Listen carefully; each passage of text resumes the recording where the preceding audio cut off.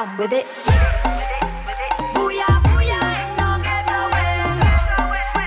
Welcome to movie recap episode three তো আজকে আমরা যে মুভিটা নিয়ে কথা বলব, সেই মুভিটার নাম হচ্ছে নিঃস্বার্থ ভালোবাসা। ইংরেজিতে যেটার নাম দেওয়া হয়েছে হোয়াট ইজ লাভ মুভিটা হচ্ছে produced by M A Jalil Ananta মুভিতে কে কে রয়েছে সেটা আগে আমরা একটু জেনে নেই। সেটা হচ্ছে dashing super action hero Ananta ব্র্যাকেটে এ জে এবং গার্মেন্টস কন্যা Barsha sorry glamour girl Barsha মুভিটার হিরো হচ্ছেন আনন্তা মুভিটার প্রডিউসার হচ্ছেন আনন্তা এবং মুভিটার story dialogue and direction Ananta মানে সবই আনন্তা মানে আমি এই জিনিসটা বুঝলাম না যে নায়িকা হিসেবে কেন বর্ষা মামুনিকে নেওয়া হলো। নায়িকা হিসেবে আনন্দ চাচ্ছু নিজেই অভিনয় করতে পারতেন জাস্ট চুলগুলা ডাবল পার্টের অভিনয় করতে পারতেন। যাই হোক, আমরা স্টোরিতে মনোযোগ দেই। মুভিতেও তিনি একজন সুপারস্টার এবং মুভিতেও উনার নাম হচ্ছে আনন্তা এবং তিনি নাচ গান করেন।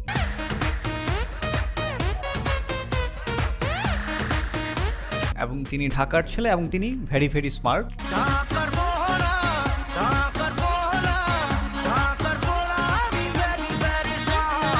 এই মুভিতে আসলে আমরা কি কি শিখতে পারি সেটা আগে একটু জেনে নেই। সেটা হচ্ছে কীভাবে তবলা বাজাতে হয় এবং কোথায় তবলা বাজাতে হয় সেটা আমরা শিখতে পারি। এবং এটা খুবই খুবই মানে খুবই দুঃখের একটা স্টোরি খুবই কষ্টের একটা স্টোরি মেঘলা নামের এক মামনি তিনি গ্রাম থেকে উঠে এসেছেন এবং তার ইচ্ছে হচ্ছে তিনি মঠেল হবেন। কিন্তু তিনি বিভিন্ন জায়গায় যান। মঠেল হওয়ার জন্য বিভিন্ন জায়গায় বিভিন্ন মানুষজনের সাথে কথা বলেন। কিন্তু যারা মঠেল তৈরি করে তারা বলে যে you wanna be model?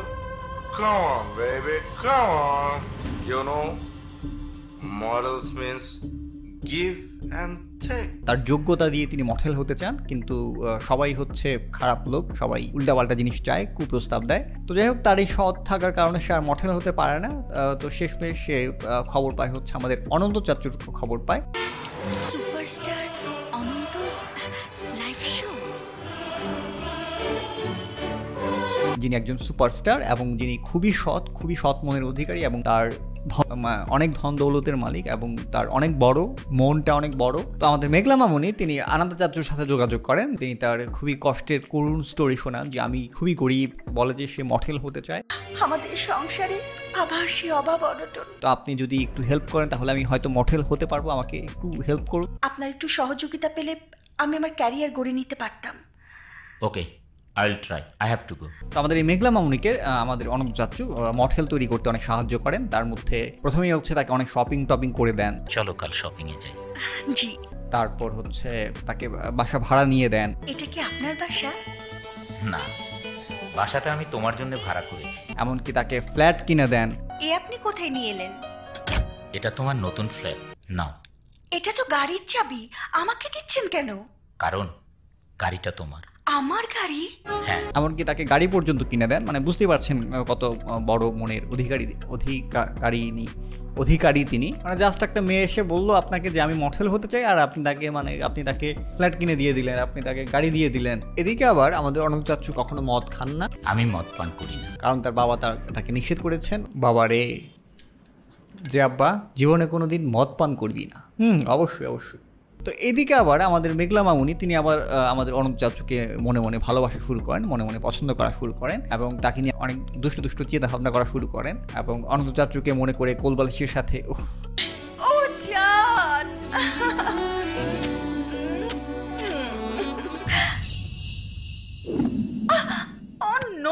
No জন্য আমার মায়া হচ্ছে। আর যাই হোক ওইসব বিষয় আমি বলতে যাচ্ছি না। আমরা স্টোরিতে মনোযোগ দিই। তো অনন্ত চাচু মেঘলা মামুনির ছোট দুইটা বোন রয়েছে। তো সেই ছোট দুই বোনের পড়াশোনার দায়িত্ব নেন। এমনকি তিনি মেঘলা মামুনির গ্রামের বাড়িতে জায়গা কিনে সেখানে বাড়ি তুলে দেন তার ফ্যামিলিকে থাকার জন্য। মানে মেঘলা মামুনির ফ্যামিলির লোকজনদের থাকার জন্য। তো একটা জায়গায় আমার মনে হয়েছিল যে আমাদের অনন্ত চাচু মনে হয়েছে অনেকটা মিনা কার্টুনের দৈত্যের মতো। আমি কি যা খুশি সাইবার পারি? অবশ্যই। তুমি মজার কিছু চাও বলো তো? তুমি কি সিনেমার নায়িকা হতে চাও? দৈত্য যেমন বলেছিল তুমি কি সিনেমার নায়িকা হতে চাও? আর ঠিক তেমনি হচ্ছে আমাদের এই যে এই আমাদের মেঘলা মামুনির ছোট বোন সে আমাদের অন্তচার্যকে বলল যে আপুর সব আশাই তো পূর্ণ করে দিয়েছেন শুধু একটা আশা বাদে। আপুর মিডিয়ায় কাজ করার ভীষণ ইচ্ছা যাতে সারা দেশের মানুষ আপুকে চেনে। ওকে তোমার আপুর সে আশাও পূরণ করে দেব আমার ইচ্ছা সবাই স্যানিটারি পায়খানা ব্যবহার করব। পায়খানা মেঘলা মামুনি তো আর মিনা, মিনার মতো বোকা না, যে সবার জন্য পায়খানা চাইবে তা তো আর না। সে চেয়েছে হচ্ছে সে সিনেমার নায়িকা হতে চায়। তো আমাদের অন্য চাচ্ছ যেহেতু একজন মানে ইচ্ছাধারী নাগিন সরি মানে কি বলে, ইচ্ছা পূরণকারী দৈত্য, তো তিনি এরকমই তিনি আমাদের মেঘলা মামুনের ইচ্ছা পূরণ করে দেন, তাকে সিনেমার নায়িকা করে দেন।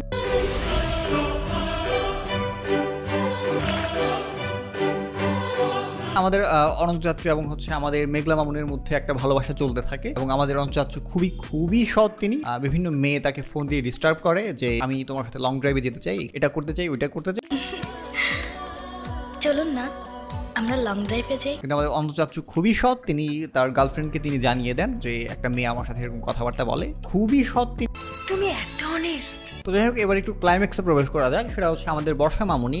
তিনি আবার তার লোভ আবার একটু বেশি। প্রথমে আমি মনে করেছিলাম যে মেয়েটা খুব ভালো বাট পরবর্তীতে আমি বুঝতে পারলাম যে আসলে সে খুবই লোভী একটা চতুর একটা মেয়ে, খুবই শয়তান একটি মেয়ে। যাই হোক, তো সে মানে সে খুব বড় মঠেল হতে চায়। জহির খান নামের আবার আরেক লোক রয়েছে, যিনি কিনা হচ্ছে খুবই দুষ্টু একটা লোক। সেই লোক আবার মেঘলা মামুনির ক্ষতি চায়। মেঘলা মামুনিকে এসে বলে যে তোমাকে অমুক কোম্পানির ব্র্যান্ড অ্যাম্বাসেডর করে দেবো, তো তুমি আসো এখানে, পার্টিতে আসো, এক ক্লাবে আসো। বর্ষা মামুনি যেহেতু লোভী তিনি চলে যান ওইখানে। জহির খানে তার আবার একটা কুমতলা বাটে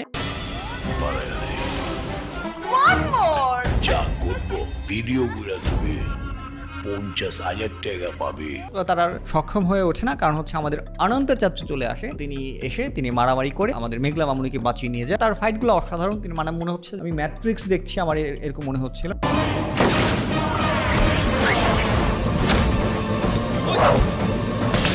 যাওয়ার আগে তিনি, পুরো ক্লাব তিনি একদম আগুনে উড়িয়ে দিয়ে যান।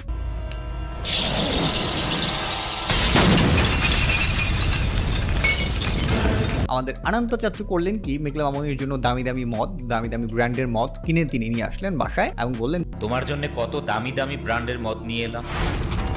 এখন থেকে তুমি বাসায় বসে খাবে। তো আমাদের মেঘলা মামনি তার ভুল বুঝতে পারে। আমাদের বোতল সে ভেঙে ফেলে এবং বলে যে আমি জীবনে আর কোনোদিন মদ খাব না। আমাকে তুমি ক্ষমা করে দাও। তো আপনারা সবাই জানেন যে আমাদের আনন্দ চাচুর অনেক বড় মন তো তিনি ক্ষমা করে দেন। অনন্ত চাচ্চু মেঘলা মামুনির প্রতি খুবই দুর্বল। মেঘলা মামুনিকে খুবই পছন্দ করেন খুবই ভালোবাসেন। এমনকি তার বুক কেটে তার নাম লিখেছেন। তারপর হচ্ছে তার একটা গাড়ির কোনো প্রবলেম হলে তিনি নতুন আরেকটা গাড়ি কিনে দেন। তোমার আগের গাড়ির চেয়েও আরও ভালো মডেলের একটা গাড়ি কিনে দিব ওকে? তো আমাদের মেঘলা মামনি দ্বিতীয়বারের মতো আরেকটা ভুল করে। সেটা হচ্ছে এক পাক বইয়ের সাথে তার সম্পর্ক তৈরি হয়। মেঘলা মামনি বলে যে, অনন্ত সাহেবের সাথে আমার কোনো সম্পর্ক নেই। তিনি জাস্ট আমার একজন ওয়েল উইশার কাজেই হে পাক বয়, তুমি আমার সাথে সম্পর্ক করতে পারো। নো প্রবলেম এবং আমাদের অনন্ত যাচ্ছু মেঘলা মামনিকে ফোন দেয়, কিন্তু ফোন দিয়ে মেঘলা মামনিকে পায় না। সবসময় এঙ্গেজড থাকে। কারণ হচ্ছে সে পাক বয়ের সাথে কথা বলছে। ওই পাক বয় এবং মেঘলা মামনির মধ্যে একটা পবিত্র ভালোবাসা তৈরি হয়। মানে পাক পবিত্র ভালোবাসা আর কি। মানে সে পাক বয় আর ভালোবাসাটা পবিত্র। এই হচ্ছে মানে পাক পবিত্র ভালোবাসা। মেঘলা মামনিকে নিয়ে চিন্তা করতে করতে টেনশনে তিনি ওই রিস্কি কোনো এক শর্ট দিতে গিয়ে তিনি আহত হয়ে যান এবং হচ্ছে তিনি দেশের বাইরে যান তার চিকিৎসার জন্য। Please don't use anesthesia because I want to remember my fiancé in every moment. আমাদের অনুচাত্র সেটা জানতে পেরে যায় যে ওই ছেলেটার সাথে আমাদের মেঘলা মামুনির একটা সম্পর্ক তৈরি হয়েছে। তো আমাদের অনুযাত্র সেখানে বাধা হয়ে দাঁড়ায়। ছেলেটাকে বলে যে তুমি মেঘলার কাছ থেকে দূরে থাকো। আর এতে মেঘলা মামুনি খেপে যায়। মেঘলা মামুনি তুমি? তুমি রাহুলকে কি বলেছ? যা সত্যি তাই। আমাদের অনন্ত চাচুর সাথে দুর্ব্যবহার করে মানে অনন্ত চাচুর দেওয়া- দেয়া বাসায় থেকে অনন্ত চাচুর টাকা খেয়ে অনন্ত চাচুর গাড়িতে চড়ে সে অনন্ত চাচুর সাথেই সে খারাপ ব্যবহার করে মানে চিন্তা করেন কত খারাপের খারাপ। তোমার আমার মধ্যে রিলেশন নেই। যাই হোক পুরো একটা মুভি জুড়ে দেখানো হয় যে আমাদের চাচু তিনি চরম ভালো মানুষ এবং হচ্ছে ওই মেয়েটা মেঘলা মেয়েটা মানে চরম খারাপ একটা মেয়ে মানে খুবই খারাপ একটা মেয়ে। তো যাই হোক মেঘলা মামুনি বলে যে ওই ছেলেটার সাথে আমার ভালোবাসা রয়েছে তো তুমি আমাদের মাঝখানে আসবে না তুমি আমাদের থেকে সরে দাঁড়াও। তো অনুপ চাচু যেহেতু ওনার উনি অনেক ভালো মনের মানুষ তো উনি ওই পথ থেকে সরে দাঁড়ায়। তখন মেঘলা মামুনি আবার ওই পাক বয়ের সাথে আবার আবার যোগাযোগ করার চেষ্টা করে। তখন পাক বয় বলে যে আমি তো পাক বয় আমি তোমার সাথে মানে তোমার সাথে সময় কাটানোর জন্য আমি হ্যাঁ এরকম তো তোমার মতো মেয়ে আমার অনেক আছে হ্যাঁ, আমি আমি পাক বয় শুধুমাত্র বন্ধুদের সাথে চ্যালেঞ্জ করে তোমাকে ভোগ করার প্ল্যান করেছিলাম। তোমার মতো চার পাঁচটা মেয়ে সবসময় আমার সাথে প্রেম করে। তখন মেঘল মামুনি তার ভুল বুঝতে পারে এবং হচ্ছে আমাদের অনন্ত চাচুর কাছে গিয়ে ক্ষমা চায়। আমি ভুল করেছি। আমাকে তুমি ক্ষমা করে দাও।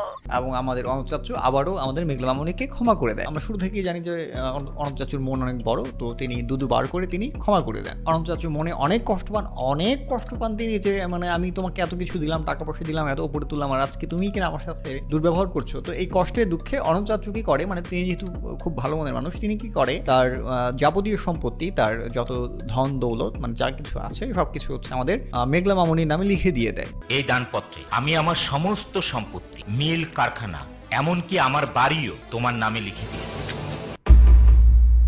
এইদিকে আবার আমাদের মেঘলা মামনি নতুন আরেক দুষ্ট লোকের চক্রে পড়ে যায়। সেই দুষ্ট লোকের নাম হচ্ছে বশির খান। সেই দুষ্ট লোক বলে যে, আমি তোমাকে ইন্টারন্যাশনাল মডেল বানিয়ে দেবো। এই করব, সেই করব। অনন্ত চাচ্চু সেটা জানতে পারে এবং অনন্ত চাচ্চু আমাদের মেঘলা মামনিকে সাবধান করে দেয় যে, ওই বশির খান ও একটা চিট বাটপার, ও একটা দুষ্ট লোক। ও, ওর সাথে তুমি যেও না। কিন্তু আমাদের মেঘলা মামনি সেটা মানে না। সে বলে যে, উনি অনেক উচ্চ পর্যায়ের লোক। ওদিকে আবার বশির খান, সে যেহেতু মানে খারাপ লোক, দুষ্ট লোক, সে কি করে? আমাদের এই মেঘলা মামুনির কাছ থেকে খালি দলিলে সই করিয়ে নেয়। বশির খান আমাদের মেঘলা মামুনিকে কিডন্যাপ করে দেশের বাইরে নিয়ে যান এবং হচ্ছে একটা জায়গায় আটকিয়ে রাখে। এদিকে আবার আমাদের অনুজ চাচু, তিনি আবার যেহেতু তার আর জীবনে আর চাওয়া পাওয়ার কিছু নেই। তার ধন সম্পদ সব দিয়ে দিয়েছেন। তার ভালোবাসার মানুষ তার সাথে বিট্রে করেছে। তো তিনি রাগে দুঃখে ক্ষোভে তিনি আত্মহত্যা করতে যাবেন।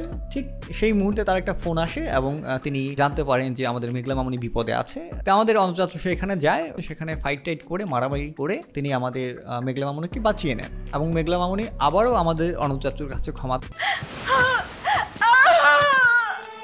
আমাকে ছেড়ে যেও না।